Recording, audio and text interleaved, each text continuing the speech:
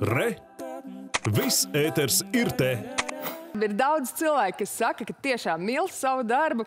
Daudz cilvēku arī saka, ka darbs sakrīt ar hobiju, un tas, protams, padara cilvēku vēl laimīgāku. Un starp citu, tā stāsta arī Latvijas sporta muzeja direktore Hagra Brūne, kurai ministru kabinets ir piešķīris atzinības rakstu par nozīmīgu ieguldījumu Latvijas sporta kultūras materiālā un nemateriālā mantojuma saglabāšanā un sporta vēstures popularizēšanā. Sporta muzeju un Agru Brūni nu pat kā apciemoja arī mūsu kolēģis Ulds Birziņš. Agra Brūna jau no bērnības ar sportu bijusi uz tu, cik sev atceras vienmēr trenējusies vieglatlētikā un startējusi arī sacensībās. Visu laiku kustība, es esmu ļoti kustīga, pat aktīva tāda.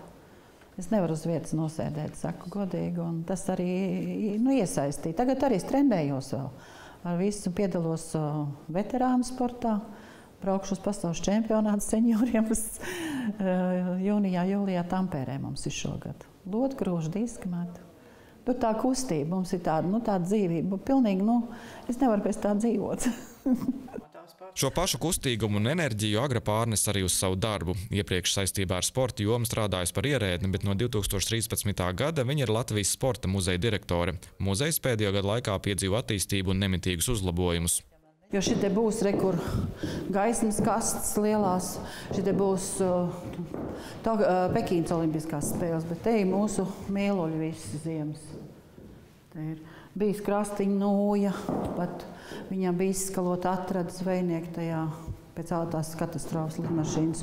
Un, un sieva nu, at, atveda muzejām, stāvēja. Tagad, pēc tam tagad paņēma apakaļ, un tur maliņā stāvēja tieši tā nūja deg, degusī, kas bija degusi, sadegusi. Un atrada, ka tā bija Kārlis Krastiņam piederēja. Agri ir ļoti sportisks cilvēks, ar ļoti mūžu prātu, atsaucīga, ar viņu ir ļoti viegli strādāt. Un, uh, viņa ir prasīga, bet te pašā laikā arī ļoti pretimnākoša. Ņemot vērā, ka es agru pazīstu jau 40 gadus, mēs esam kopā bijuši kolēģi sporta komitejā. Tad es visus šos 40 gadus varu teikt par agru, ka viņa ir idejām pilna, viņa savas idejas prot realizēt, ko mēs varam redzēt arī muzejā. Ja, pēdējos gadus, kad viņi strādā muzejā, muzejs ir pārvērties. Muzeja arhīvā šobrīd rūpīgi tiek uzglabāta aptuveni 60 tūkstoši eksponātu. Agra vēlas pārbūvēt bēniņus, lai iegūtu vēl vienu telpu muzejam.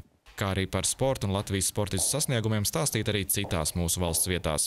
Man ir tāds izaicinājums un doma visos sporta bāzēs izveidot arī viņu vēsturiskās istabas, tādu nelielu koncepciju. Es domāju, ka tagad, tas ir ļoti svarīgi, ja atnāk jaunie sportisti un arī redz uzreiz, kas ir bijušie, vai tas ir Daugavas stadions, vai tas ir Siguldas trase, vai tā ir Lielupe, vai tas Mešparks. Nu, audzināt jauniešus ka tur arī notiek pasākumi. Viņus, un var redzēt, ka viņi arī interesi skatās. Viņiem interesē vispār vēsturiskais. Nu pat kā Agra saņēmusi ministru kabineta atzinības rakstu par nozīmīgu ieguldījumu Latvijas sporta kultūras materiālā un nemateriālā mantojuma saglabāšanā un sporta vēstures popularizēšanā. Es tiešām mīlu šo darbu, un es sportu ļoti mīlu. Man, man sakrīt hobijs ar, ar, ar darbu. Es esmu laimīga cilvēka tādā ziņā, ka man tas viss ļoti, ļoti patīk, ko es daru.